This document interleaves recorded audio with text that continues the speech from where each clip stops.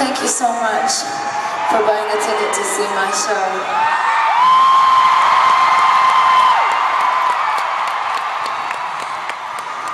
You know that about, I believe it was three, maybe four years ago, that I opened for New Kids on the Block here.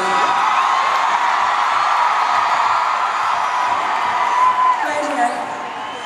And I had like this much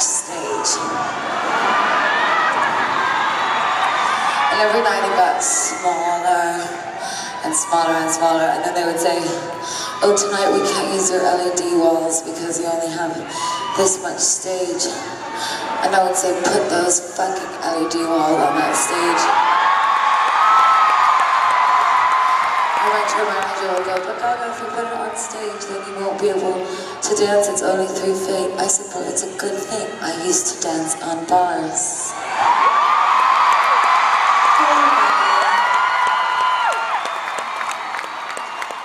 I've done my homework, thank you very much.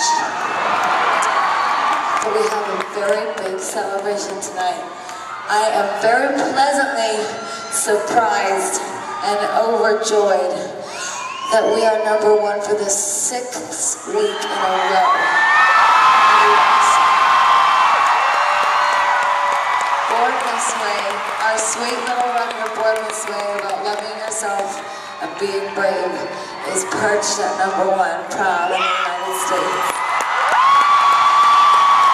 So before I forget, before I forget to thank you, let me thank you right now. You are the most badass fans in the whole world.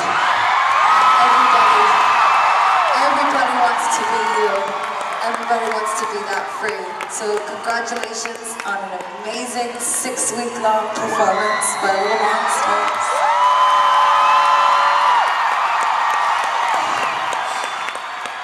I didn't used to be very brave. In fact, I wasn't very brave at all. But you have made me so brave. So now,